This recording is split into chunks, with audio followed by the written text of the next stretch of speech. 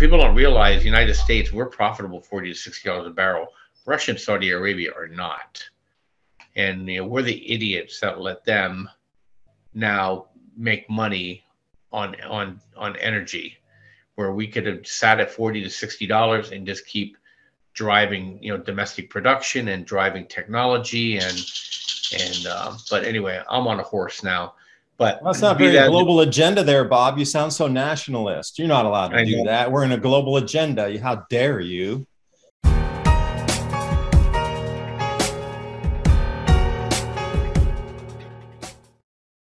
Good afternoon, everyone. Bob Kudla's joining me today, tradelikeagenius.com. Now, if you'd even watched our interview from last month, how many things have come to fruition in just these last 30 days that we were talking about? So, as we look out through media headlines across the blogosphere, and I was reading one today Global Summer of Starvation is what they're going to term this. And we've seen a lot of countries get into the panic mode knowing that their governments will be toppled if they do not keep food resources in their borders. So, you know, looking out, we could look for food nationalism or resource nationalism where things will not be exported.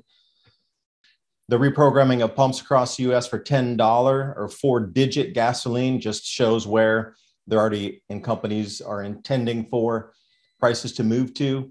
Then how that's going to curtail the entire economy as we go into depleted crop yields based on non-availability of fertilizers farmers taking prevent plant because it was too expensive to plant or they didn't have the actual farm inputs to get it in the ground the intention versus what's really happening is now very stark we're, we're setting up to something we haven't seen i'm not even going to say in multi-generation it'd be more than multi-century and it's just going to start spiraling from here. So, Bob, I appreciate you joining me. And as always, I'm trying to pick your brain for ideas as we move through, as well as everybody watching, so they can get a glimpse on how our society and world is moving economically. But that is also the next step up for the society, how it's going to move and how people will behave. Probably not in a very nice, polite way this time. When it comes to your food and your children starving, eh, your politeness is probably going to be the first thing that goes out the door. But anyway, Bob, thanks for joining. And you know, like I said, natural gas. You mentioned silver. We'll talk silver in a second. But to me, you know, the areas that you want to focus on: natural gas. You want to own silver. You want to own energy. Now you want to own propane, liquid petroleum products. Absolutely, that wasn't on my radar two years ago. I own a bunch of it now. And then uh, food processing companies. You want to be in the supply chain. And then on the commodity level, you don't have to be a futures trader. You can own these ETFs: wheat, corn, soybeans and and then you'll be able to manage your position. And then if we're in an inflationary environment, you want to own energy. If we slip into deflation, you're going to own, believe it or not, you want to own bonds. Keep your life simple, and you're going to out you're going to out earn your cost of living increases, and um, then you'll be in a position with less stress. And you don't need a whole lot of money to do this kind of stuff, you know. So you know, look at the moves we had in in, in uranium, 25% move in two weeks.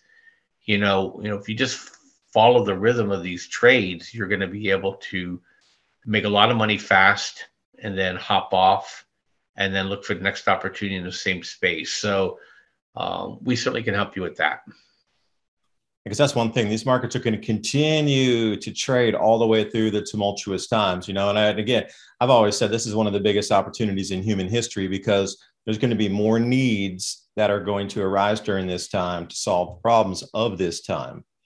But at the same time if you can look out into the future just a sliver and you can see where the problems will be focused eh, that's exactly what bob's talking about here and what we're both seeing moving along so 2023 is going to be a completely different animal than what we're seeing now. So, you know, it's good to talk about what's coming up to this point through the harvest season, how people's minds might react. Russia's really put us in a corner, so they're going to be causing civil unrest and hunger, and a lot of people go to the streets, which is even more, I guess, detrimental for a government because it's it's just different than having an army move somewhere. Now, now you got your own citizens fighting against a destabilization platform there. But 2023 is going to unravel in a completely different fashion once the awareness of people need, being, needing to be more self-sufficient. And the reason i bring that up is silver. And i talk to a lot of people who are, are prepping out getting ready for this holding on to the metals there. So you know defense authorization act using a lot of silver and solar panels and green tech and then also silver for tradables barterables during a uh, scenario that could be envisioned if there's some sort of banking holiday or, or if things are revalued or something zeros lopped off the currency that piece of silver is still going to have its value so what are you thinking from here through 23 yeah so the fed has to stop raising interest rates for silver to really take off although it stopped going down. And you know, we took some positions in in GOLD, which is Barrick Gold, GDX, GDXJ, and we got our first buy signal in SLV for a long, long time. So uh, I own personally in my long-term portfolio own Hecla, and the reason why I own Hecla, I'm a United States citizen. They have most of their mines in the U.S., and I want to own things that are close to my legal system. You know, whether I trust my government or not. Let me stop for a second. What do you think about nationalization of mines in a national emergency and you own, own those mining? Do you think that those mines could be nationalized? Not, not in the United States. They're going to do this defense authorization, execute whatever it is called, uh, to force them to produce. You may get a situation where, um, but Congress has to approve it. Biden just can't declare an emergency and start doing price controls all over the place. You know, it, it'll there'll be a lot of lawsuits on that. They'll have to justify it. But yeah, look, you're going to see pressure. You know, you're already hearing people screaming about we need windfall profit taxes on on you know energy producers. So yeah, I would start seeing it. Food will be the one that people will be mostly interested in. Silver is a little bit like uh, how does that connect with food, but food prices. You know, you're going to see companies like Pilgrim's Pride getting dragged up in front of Congress saying, "Hey, you know the cost of your your your product went up 30% why are you doubling the cost of food that's you're taking advantage of people. People can't afford it. They're going to starve. We're going to engage legislatively. So i think you'll see that in food. I don't think you'll see it in the miners so much. You see what i th- think is happening is happening. So the trump protected created the strategic metals thing. Biden's now taken the next step forward which i fully support.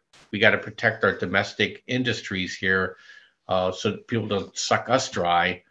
And and I think you're going to see other countries going to go tit for tat because people are starting to understand now, saying, "Oh shoot, you know, Europe and the United States have been China have been sucking our countries dry. We have nothing to show for it." So you're going to start seeing more nationalization to mines outside of what I call the big five. You know, what do you call it? The the big eye. What is the Five Eyes countries, right? You know, so and uh, and I think you'll see Argentina will do it too because they're chronically in debt. You know, they'll probably nationalize mines there, and um, but United States, Canada. Look, keep your money United States, Canada, Australia. You know, I mean, look, I'm in my backyard. I'm already I already replaced 15% of my uh, my grocery purchases, and I have a small yard. You know, you'll start seeing that multiplied, you know, across the board here as people will start saying, I have to do more myself. I have a neighbor now that has six chickens. He doesn't buy eggs anymore, you know, and uh, so you're gonna see more and more of that kind of stuff, and and where people are gonna are gonna try to control their own personal supply chains, which is a great idea, you know, and you know, forget trade genius trying to pitch my services kind of stuff, and you talking about Grand Solar Min. There's tremendous opportunities here. Uh, I mean, if I was 25 again, food tech is where I'd be. I'd be knee deep into food tech. I mean, there's going to be millions are going to be made in food tech, and um, and you know, um, not to plug anywhere else to go, but you know, if you just go out onto YouTube and just look at what the Israelis and the Dutch and the U.S. is doing in terms of the technologies that are being created, are just are mind blowing. You know, you're basically climate independent for a lot of food now, and so uh, I think you're going to see more and more of those opportunities, and and I think people need to kind of open their horizons a little bit. And plus, the fact is, maybe it'll get you out of the city, where the cities are going to be pretty unsafe. I'm going to go look at they're stealing stuff now to sell on the streets. Wait till they start stealing food, and then the food trucks just won't come in, and you're going to see massive exodus out of these cities. So just remember, you know, just draw a circle 180 degree, 180 miles around any city center. You want to be outside of all those, and that's that. That's basically getting your car to and back if you're going to go try to rob and pillage, right? So um, if you're outside that area, they're not going to be able to rob and pillage you if, if the if the stuff hits the fan. But hey, I got one more for you. I know you know I always like to jump around, but um, yeah, if you Cobalt Company in Canada, there's some yeah. OTC companies out there. I think it's CC CCWOF. Uh, I own a little bit of it. It's a cobalt company. I think it's cobalt and uranium in in in the um, I think it's either not PEI, but it's it's in Nova Scotia. It's it's in that northeast one of those northeastern provinces. Uh, Nunavut or something. Yeah, there's a whole area up there, and oh, that was the last glaciation point of the what we consider the Wisconsin glaciation point was right up there in the Nunavut Island area. So the side bit of info there. So keep going. Sorry to cut you off. Yeah, no, it's I think uh, you know, and, and look, Canada can't survive without selling their resources. So you know you're going to look for opportunities. I, mean, I own Canalaska Uranium. Uh, that's a good company. It's an OTC company. You got to have a few of these sprinkled in your um, portfolio because you never know when you're going to wake up one day and it's going to be up 10x. Especially when some big guy comes in and just tries to tries to take the company out, they're going to have to pay massive premiums for these companies. So cobalt's definitely going to be needed. Um, you know, I own lithium. I own uh, only a, you know, only a lithium mine in the United States. Its stock is called LAC. I have it tucked away. Okay. And so, um, you know, those are the companies you want to own. Don't want to screw around with tech and all that garbage. You want to own things that hurt when you drop it. Okay. And that people will need when they're starving. Okay. But that means like a piece of metal on your toe. Ouch. You know, really, you really are talking about physical metals because moving this green agenda, they're going to need metals. They're going to need an enormous amount of metals if they're going to really push it. I mean, you could probably do a whole show on just listing the metals from A to Z that are going to be needed in this conversion just to green tech. Well, why don't we do that? Maybe let's do July. We'll just walk through the charts. Does that sound fair? Yeah, and just focus it on metals and grains, and yeah, things that you put in your belly that can keep a society moving forward. But at the same time, you know, that set of meetings that was going on in uh, Davos, Switzerland, they had already said that there was over a hundred trillion dollars already pledged to this green conversion as of this year in financing. So this is not going away. It is going to continue in its journey down, however far it needs to go. But there's a lot of metals that are going to be involved in this, and most of them are not above ground right now at the level they need to get us even 5% of the way down to where they envision this 100% renewable energy world that we're going to be living in. So between there, that's going to be a long journey, and there's going to be uh, a lot of companies that are going to benefit from that. Yeah, look, you know, you can only fight it so much. Unless you're overtly doing something immoral, it's okay to invest in these companies. Okay, unless you know what they're producing is a, is an immoral product. But you know, you know whether you agree or disagree with renewable energy or the Green New Deal, you know, I think it's coming regardless I think there's probably a very real concern about do we have enough fossil or petroleum based fuels going forward? Um, so it's legitimate to look at these things. It's illegitimate the way they're going about doing it, but definitely we're leaning that way. Look, I just saw a, a boat totally 100% solar. Okay. You know, I see you're going to start seeing these things um, come up. I've seen uh, all the harbor cruising boats now are, are um, basically battery solar, no problems. You know, and and now you're seeing this incredible wind technology with kites. You've seen the kite sailing mm-hmm. on these massive 14 to 15 percent reduction.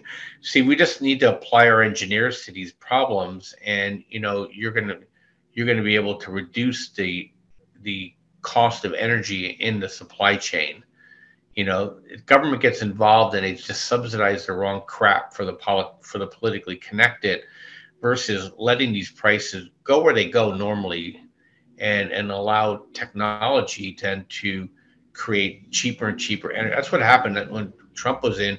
We were we were we were basically taking advantage of the efficiencies that were coming into it, and he just added supply to that and created a, a basically a Goldilocks scenario around between 40 and 60 dollars a barrel.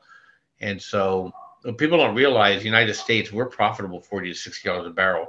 Russia and saudi arabia are not.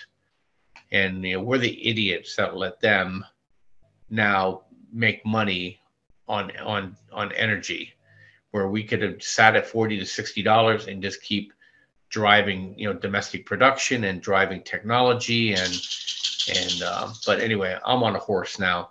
But well, that's not very that, global agenda there bob. You sound so nationalist. You're not allowed to I do know. that. We're in a global agenda. How dare you?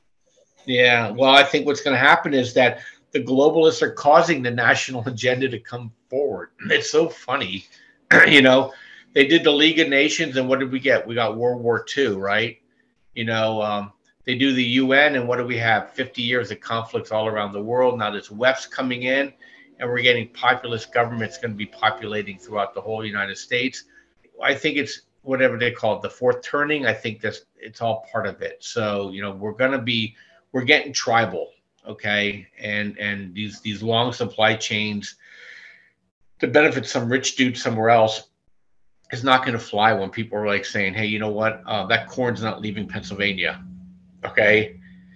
It better be going in my belly or it better be going into my cow or pig or chicken or egg. Okay. And then I'll buy it here versus you shipping it all the way to China and then have me pay twice as much for the food because you just sent it over there on a sweetheart deal. So I think you're going to see a lot more of that kind of stuff. And then I got to run. I can't believe the time always flies with you, Dave. But check oh, us out. Trade with us. We're, we're doing Yeah, TradeGeniusAcademy.com or TradeLikeAGenius.com. Promo code Father's Day, one word. The bundle is 65% off. we trade stocks, we trade uh, crypto, we trade the uh, futures markets. We'll even teach you how to do this stuff. We have algorithms, you have access to them. So it's a good system. You're making money. Um, I'm happy to show you guys the system next month. Uh, I think you'll like it, and we'll walk through all the commodity companies. I'll show you some good dividend paying companies and uh, and look, you can stay ahead of the you can stay ahead of this beast, okay? And you know, be one of the winners out of this. Don't be one of the victims. And you don't need a whole lot of money to trade, and we'll show you how to do it. and as Dave will tell you, um, I'm not a Lambo guy. You know, I don't promise you riches, but I definitely will will keep you ahead of the game and put you in a situation where you'll have life lessons and skills to be able to independently uh, take care of your family. And that's the way we need to think, bringing it back again, taking care of our families in a local fashion where everybody benefits because humanity is working together versus fighting each other. And again, this whole top down approach of million mile delivery chains, not going to work. And the changing magnetic field of the sun might also have some effects on how our brain is also behaving and perception of reality. So you're going to see a lot of changes coming through. But Bob, thanks for the info. I got a little a whole note list here as you were talking. And I do thank you for uh, sharing your ideas today. And everybody out there, I'll put the link in the description box below so you can just go click and go. You don't have to type anything into your browser bar, make it that much easier. Please visit tradelikeagenius.com, see what Bob has over there. And until next month, do your own research. Bye for now.